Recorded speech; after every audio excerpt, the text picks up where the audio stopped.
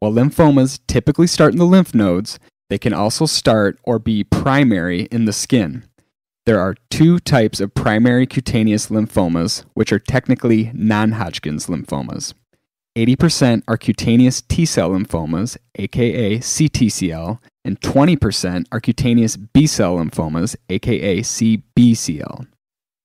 Today's episode will focus on the most common type of CTCL, mycosis fungoides, which is a papulosquamous disorder that mimics psoriasis. Thus, we place it in the psoriasiform category of papulosquamous disorders. Mycosis fungoides is an uncommon condition that typically starts in patients' 50s and 60s, but may occur at younger ages.